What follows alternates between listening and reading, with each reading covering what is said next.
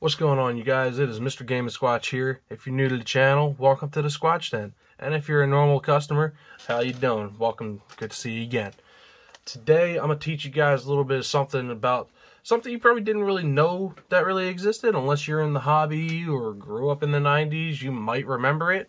I know. Feels like the 90s was just yesterday. That's 20 years ago, 30 years ago. My God. It's hard to think about that. But hopefully this is a little refresher for some people but for the rest of you that want to come and learn about a little something something with some of these little things i got. Pull out your pencils give me an apple because i'm gonna be your teacher today because i'm teaching you about the game boy camera right here. Yes this little guy was first introduced as the pocket camera in japan uh, it was released February 21st, 1998, and then ceased production in about two, late 2002.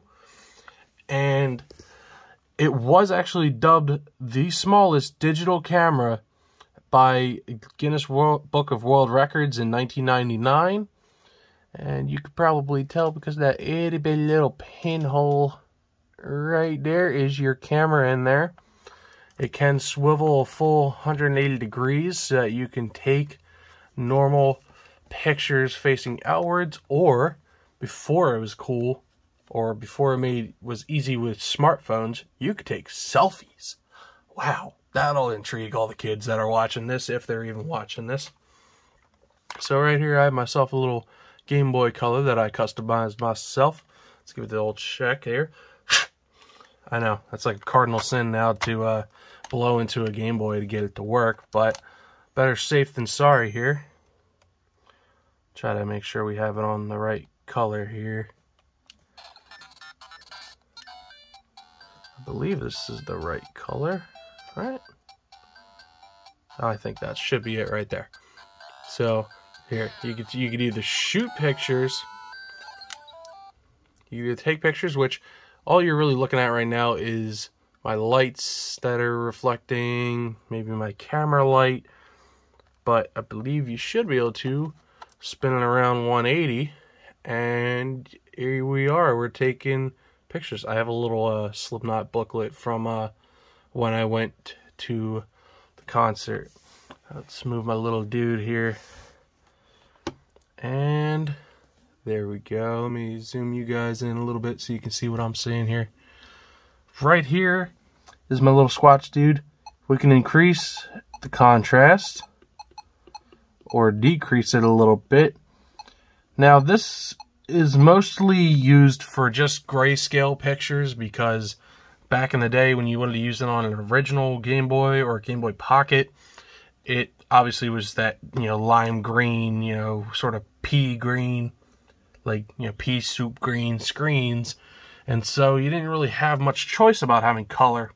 And even when you had the Game Boy Color, it was still just in black and white like it is now. And a lot of times, I think that's a lot of people find is more appealing when they use when they try to take some grayscale pictures nowadays. That's kind of the only aesthetic about this anymore. So we can increase the brightness if we want to. Decrease it a little bit so that it's a little bit more detailed, I guess. Or we can try and keep it about in the middle there. Alright, and then you just press A to take a picture. And you save it. It only takes about like 25 pictures. I have some left in my uh, in my album, I guess you could say here. Where's view? Yeah, I got some pictures here. Like, uh, got my house. Little picture of me. And then you can take, you can do stuff like edit your pictures and all. There. And that's my little dude here. But what I'm about to show you guys is something that's going to be really cool that you might have not have known about. If you already knew about the Game Boy camera, you could probably see this coming already, but I'm going to show you guys the Game Boy printer, which I believe was released around the same time as the Game Boy camera from what I can see here, it was originally released as the Pocket Printer, much like the other one was the Pocket Camera. Uh, it was released in Japan It is a thermal printer accessory released by Nintendo in 1998, which ceased production in early 2003. So not too much longer after the camera was taken off the market, uh, the printer was taken off the market as well. And I honestly, when I first got this, I thought that I like screwed up or that it wasn't really working properly because I didn't realize it still had the original paper in it, like 20 something year old paper. And when I was trying to print off things, it was really, really faded. Like, that's supposed to be a picture of me. But now that I was able to buy some paper on eBay, but I'm sorry, I stuttered. Yes, I bought it off of eBay. I will put a link in the description. That's what I was trying to get out. Uh, it works great. I just I tried it myself a little bit earlier, printed some stuff off. It works great, and I love it. And so, a little tip, little trick that you might not know about the printer if you did have it and never tried it. I found this out about watching, uh, I think his Retro Future. I'll put a link to his uh, account right up top there. Uh, when you try to turn this on, hold down feed and then switch it on.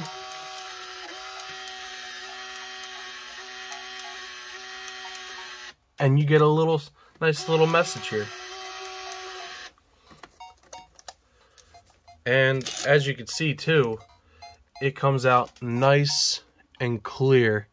So as you can see here, we got some little dots and lines, a little Mario saying hello, right next to a Game Boy printer right there. I love that. That is something that is neat. So, now, you've taken your picture, which the Game Boy camera wasn't the only thing you could play. Uh, you can. It's not the only thing you can use to link up with the printer. There's this is a list of other games that I have pulled up here, so I can try and give you guys nice, accurate information. So, the games that are compatible with the Game Boy printer that you can print things off of is Alice in Wonderland, Asteroids, Austin Powers, Oh Behave, Austin Powers, Welcome to My Underground Lair. Card Captor Sakura. Itsumo Sakura-chan to Issho.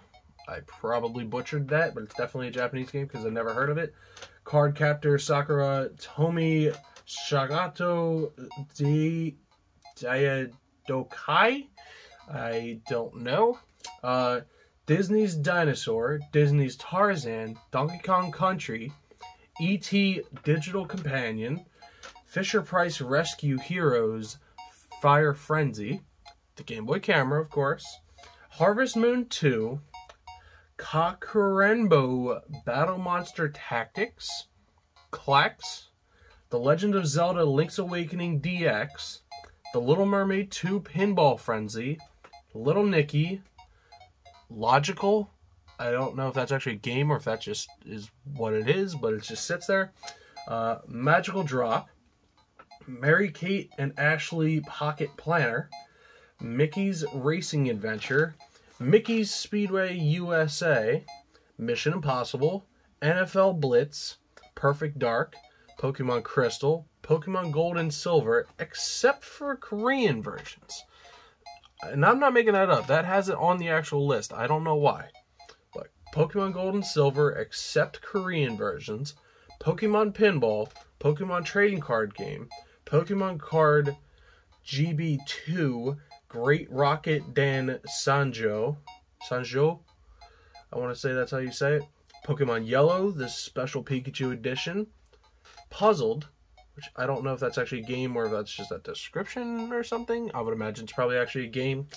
Quest for Camelot, Roadsters, Super Mario Bros. Deluxe, Tony Hawk's Pro Skater 2, and Trade and Battle Card Hero. That is a lot more games than I thought it was gonna be. I mean, I already knew for like Pokemon games and stuff, but and the Game Boy Pocket. I mean, uh, camera. Sorry, uh, but man, that's a lot. And if you were to try and order yourself some more printer paper, the roll width is 38.0 millimeters. Uh, the roll, which is one and a half inches.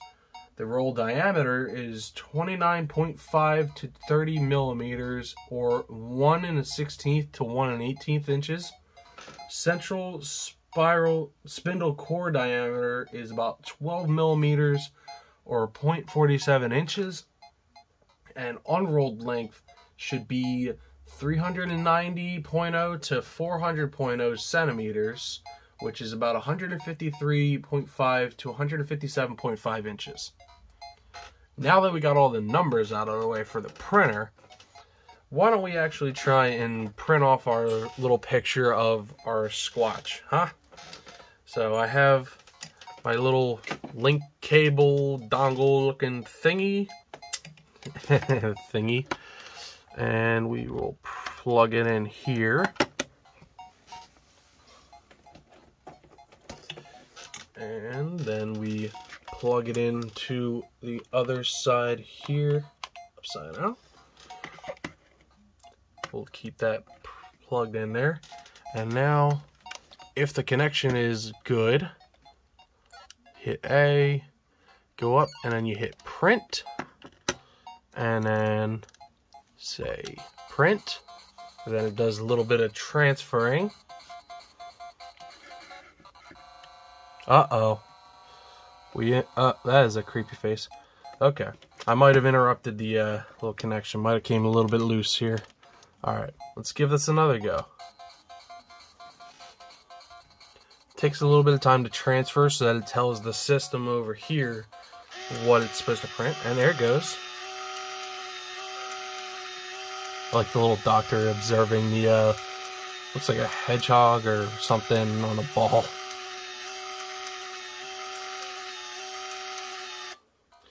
That's pretty cool. Is that not pretty cool? Because then on the original printer paper, I believe you probably could have peeled it off and like made it into a sticker. But now, that's my little dude. That's my that's little me. little little squatch me right there, man. That's awesome. So that works. And I guess you can also with the Game Boy, you can play games as well. You can either do Space Fever or you can try and do ball and you take a picture of yourself and you play. Well, take three pictures for reactions, but yes, it does play ball. Which I believe, what is it? Uh, yeah, you play the arcade video game Space Fever and the Game & Watch handheld game Ball on those games. Using your face for ball. Now, I have a high score of about like two something, maybe three. I don't think we want to be sitting here all day, all day watching that.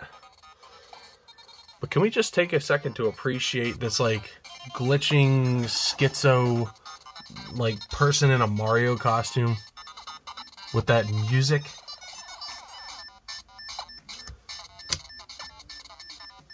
Like, what is that even supposed to be?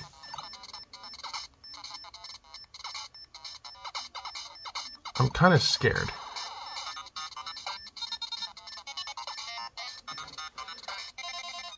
I, I just, I don't know. I don't know what Nintendo was thinking with that, but I guess they were thinking, hey, it's the 90s, why not? So, I think we, I think we had enough of that. so, why don't we, uh, why don't we try popping in a game and printing some stuff off? Like, I've got Crystal here. Just gotta be safe to make sure it works. Okay, here we go. We're starting up here. I got a little bit of dust on the screen there, but yep. Can I just talk about how much I love this screen? It is so bright and vibrant and just gives so much color and detail to the game. Alright, so let's go into Pokedex and try to uh, print off some stuff here. Like, uh, let's do Typhlosion. Because there's a difference I'm gonna do it again here. Watch.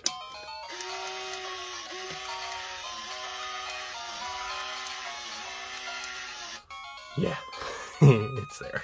Okay, let's plug her in like that. Up. All right. And go over to print. And it's checking the link and it's transmitting. Give it a second. Just gotta give it. There you go. And now it starts to print out the Pokedex entry. Uh-oh. We've got a problem here. The paper was not straight. Uh-oh. Well, that's the uh, problem with these sometimes. If it doesn't get pulled out straight, it might crimp, crimp and kringle. Okay. so much for that. That's that just happens sometimes. It's a printer. What are you gonna do? Let's re let's redo that again. Oh, we didn't do it right. Hold on. There we go. Gotta hold it for a second there. There you go, and it did it. Alright, now let's try printing it again.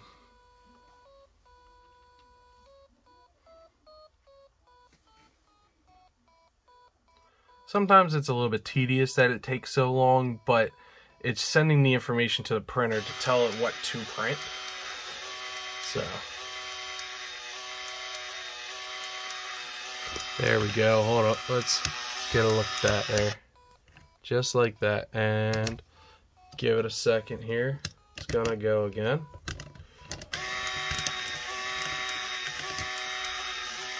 There. Because it's technically printing out two sides of the same dex entry so that you can read off the full thing. Alright, let's scroll down here a little bit. I want to print out, let's see, let's do Pikachu because I don't have him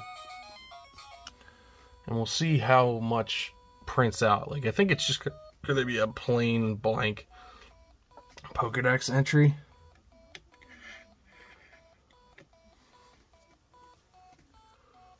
Uh-oh. Yeah, I screwed up the connection again.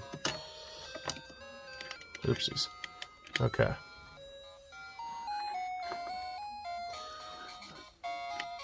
Okay, ready? We're gonna do it again here. There.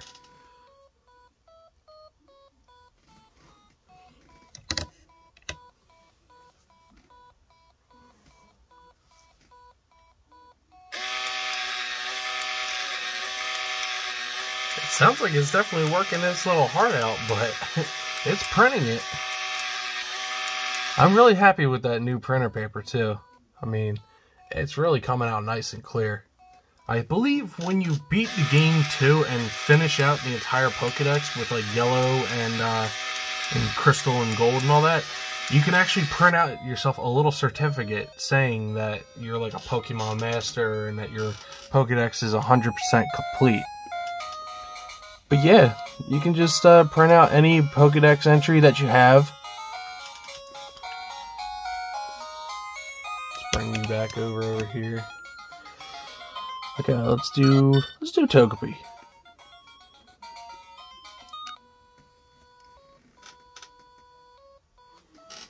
So otherwise, yeah, we got ourselves a whole little roll of uh, Pokedex entries. You could technically print out the entire Pokedex if you wanted to when you're done, but uh, you might need a roll or two for that.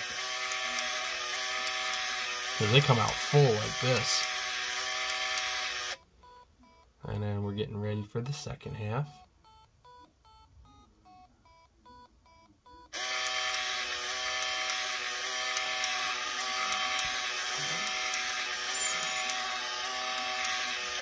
Alright, well, I think that's going to do it for this video. Hopefully you guys learned a little something that you didn't know before, which is kind of the whole point of learning, of course. But I hope you guys got to enjoy it, because I certainly did. Certainly. Yeah, see? And then, uh, then you just rip her right off. And you got the little hello. You got your Typhlosion entry here that you can fully read.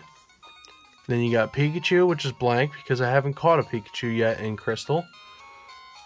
And then you got Togepi. So, yeah. Alright, hopefully you guys enjoyed that. And uh, if you haven't already, subscribe, like, comment. Comment what you think about this. Do you think it was really practical back in the day? Or do you think it's even practical now? I really don't think it is because we've got such technological advances. But for nostalgic factors and the fact that this bad boy still works, I think it's still pretty cool and, and relevant. I believe Good Mythical Morning did an episode with uh, bringing things back, and I, I think they did do the camera and printer, and they I think they agreed saying to bring it back because no wait did they say it was bring it back or, or that it was whack? Either way, check that video out yourself too if you haven't already, and uh, I hope you guys try to stay safe, stay happy, stay healthy. I guess you could say whatever makes you happy. And I'll see you guys in the Squatch Den the next time. Bye bye.